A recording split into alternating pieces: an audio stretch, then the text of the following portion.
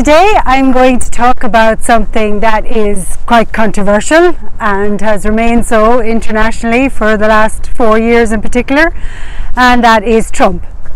And I suppose the people in Doonbeg and West Clare have the same varied um, and differing opinions in relation to Donald Trump's presidency as the rest of Ireland and indeed the world and, and the US in particular.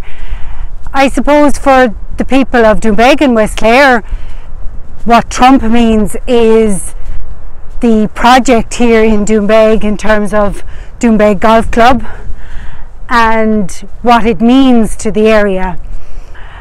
The Doonbeg Golf Club was established as initiated as a project where the local people, Doonbeg Development in particular, wanted to create something that would generate employment and retain communities, retain young people, have a sense of belonging and a vibrant community for people to live and work and raise their children.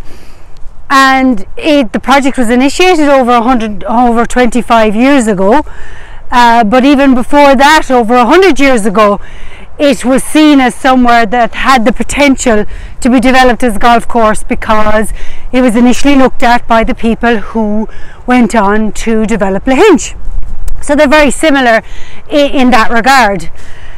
So the Doonbeg Development Organisation, um, along with Shannon Development, went to Europe and secured 2.4 million pounds as it was in the time in the 90s to purchase the land here and then prospect it out in terms of developing a golf course.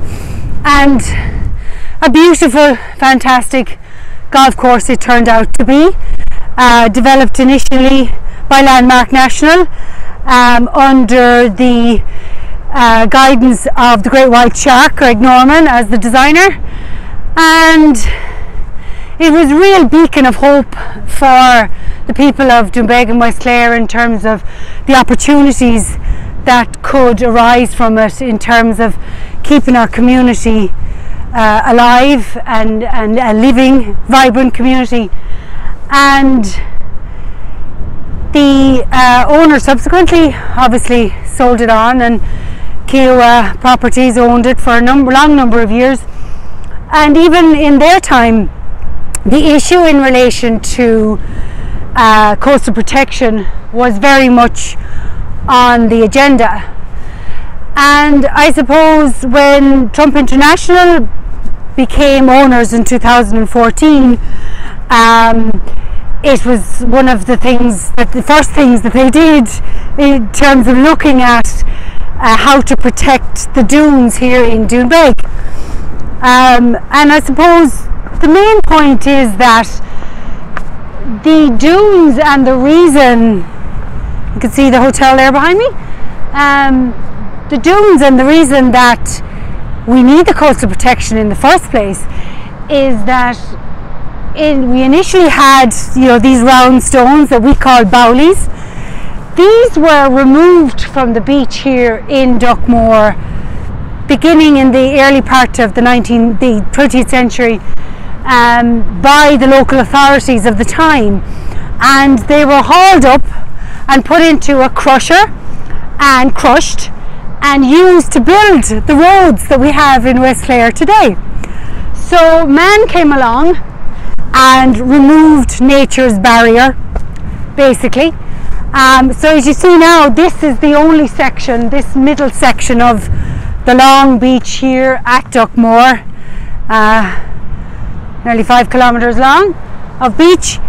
Um, this is the main, the middle section that ha still has bowlies as we call them today, but the other parts don't. And you can see this very obviously if you go to the adjacent beach, which is called the Clogher, and it is completely covered in these bowlies because they were never remote moved from there. So that is nature's um, natural boundary to protect these dunes uh, as you can see behind me and there's three areas in particular where they are very um, uh, they've eroded considerably and are very vulnerable to the elements that is the Atlantic Ocean.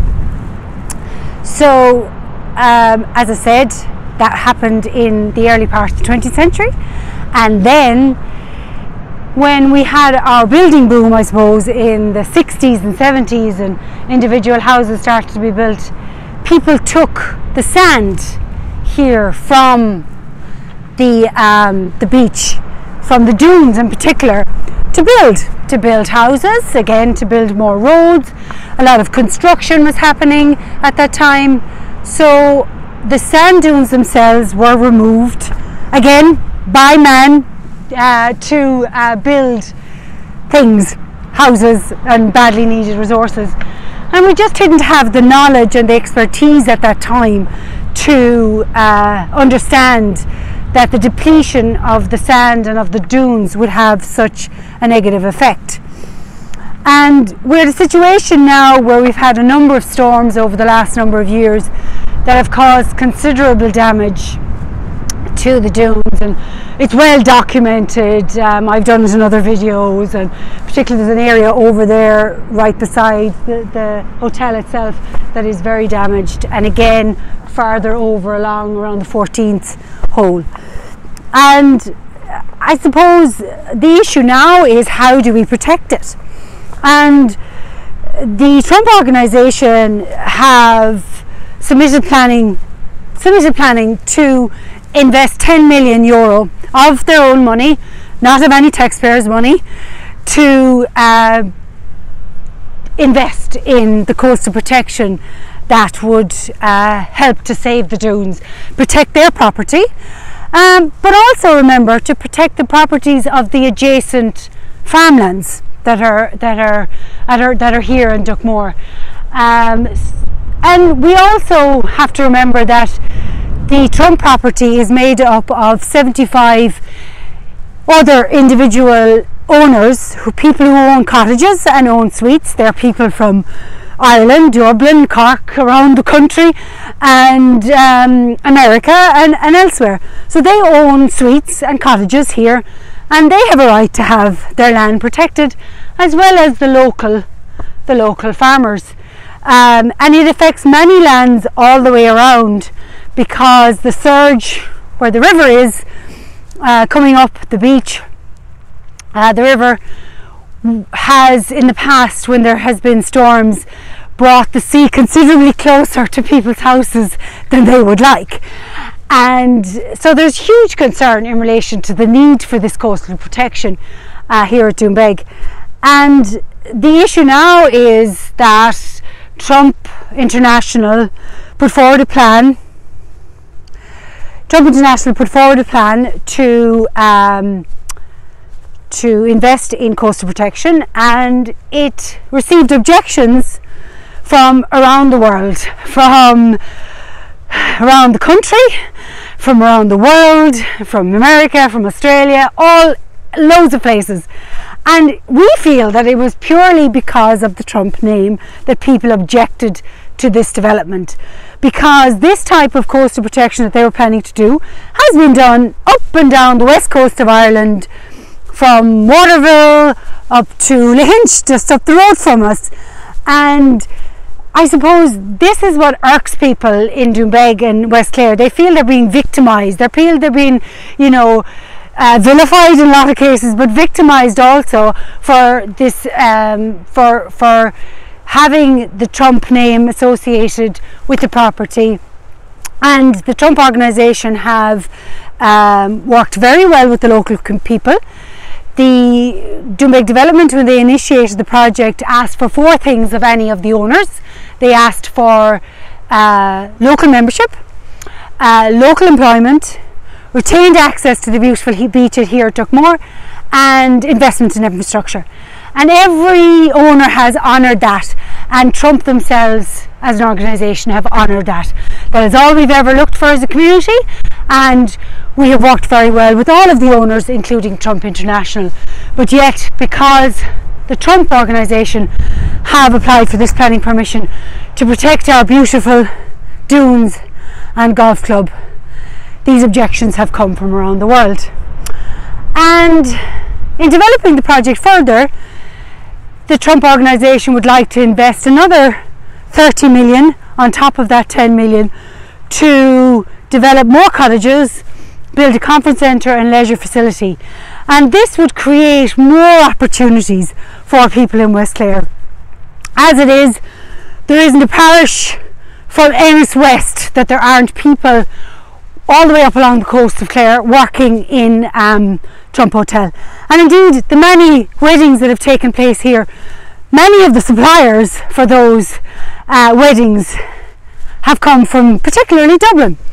Um, all, so they've benefited. You, a lot of companies around, not just locally here in West Clare and in County Clare, a lot of companies around Ireland have benefited hugely from the Trump facility here in Doonbeg. So I suppose our issue is that that development is also conditional on there being coastal protection because there's no point in the local authority granting permission as they did to uh, develop um, further uh, buildings and facilities and not have the coastal uh, area protected, um, the dunes protected.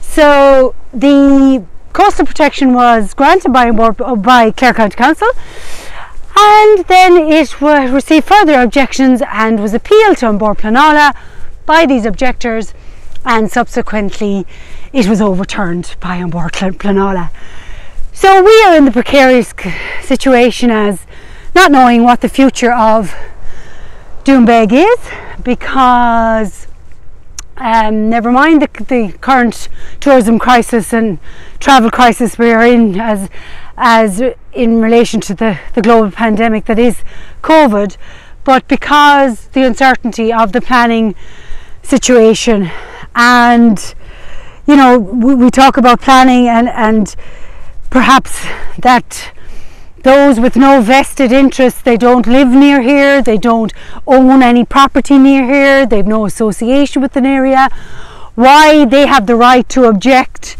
to a project that is um, located in uh, the rural part of West Clare. And you might think, well, why is Trump the biggest employer in West Clare? Because we've effectively been abandoned in terms of the development of rural Ireland and the opportunities that are here, which are so obvious now as well because of COVID. Um, so we are in this situation now. We're very uncertain. Obviously, Donald Trump's presidency has come to an end, and that in itself, I hope, will stop some of the vilification that has happened, particularly online, directed at the people of Doonbeg. And we work with the person, people who own the property here. We are very much a vested interest in the project here in Doonbeg. We love our local area and we want to keep rural communities in West Clare vibrant and alive. And we make no apologies for working with the Trump organisation in that regard. We may disagree in relation to his presidency and some of the policies, and other people agree with, with the things that he did and didn't do. But outside of that, we have to live and work in our community, and we will stand up and always support our local community and we have been treated extremely well by the Trump organisation. So we make no apologies for working with them. And you don't necessarily always agree with people you do business with, or even, you know, uh, have the same views in relation to many things. So we accept that, and our hope now is that the focus will come off the um, the planning application here in Doonbeg and what will happen and the people will simply not just object just because of the name that's associated with the planning and the impact that it has on the local community. So I uh, just wanted to kind of set that on record as to my views and I think a lot of the views of people here uh, in Doonbeg and West Clare. We hope that we continue to work with whoever owns the property here in Doonbeg um, because it is a fantastic facility, a great employer, and it really promotes West Clare and everything that we have to offer here. Thank you.